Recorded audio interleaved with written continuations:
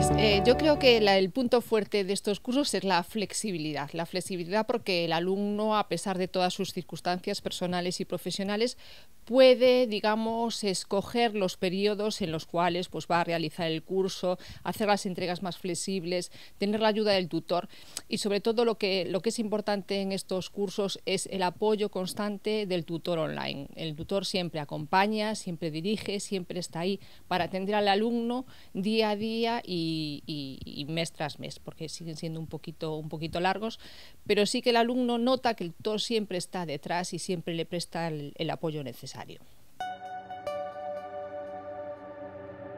Yo creo que desde el punto de vista de tutor son muy importantes este tipo de cursos porque la, tuto- la tutorización es muy dinámica y implica eh, un trabajo constante en el aula virtual, con un seguimiento del alumno, con una participación eh, todos los días en redes sociales, con una dinamización en foros, dinamización en la cafetería. Yo creo que esto no lo hay en todos los cursos online. Quizás es una característica primordial del INTEF, de hacer que el curso salga más allá y que no quede solo dentro del aula, sino que se expanda por otras, eh, digamos, otras zonas que no serían las del curso, como son las redes sociales, que a todos nos encanta estar ahí presentes y dinamizando.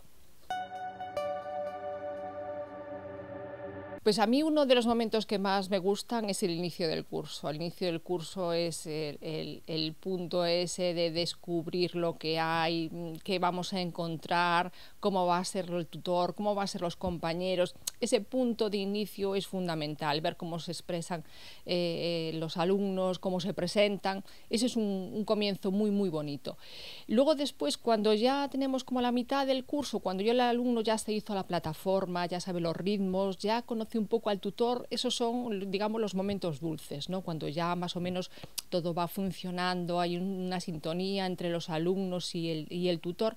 Y quizás el, el punto más difícil de llevar es el final, el final del curso, porque a veces pues no todos consiguen llevarlo al mismo ritmo y entonces bueno pues hay que intentar apoyarlos al máximo para que todos consigan el resultado final que superar el curso.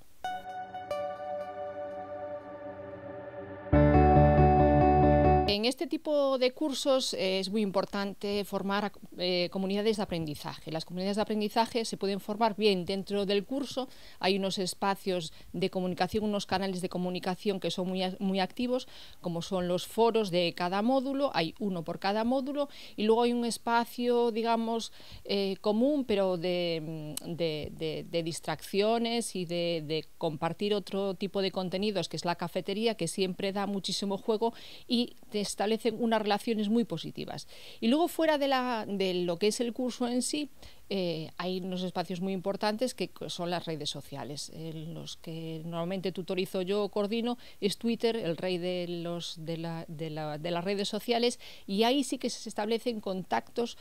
muy positivos porque siempre salen temas eh, relacionados con el curso, relacionados con nuevas propuestas, nuevas metodologías. Siempre va habiendo mucha, mucha renovación de contenidos y eh, las comunidades de aprendizaje crecen, crecen y crecen sin parar de un curso para otro, una edición para otra.